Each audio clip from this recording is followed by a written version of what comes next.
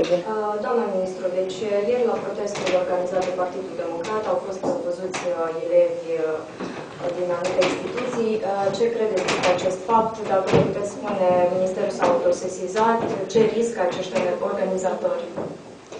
Ministerul Educației s-a autosesizat. Mm.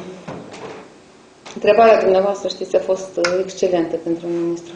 M-ați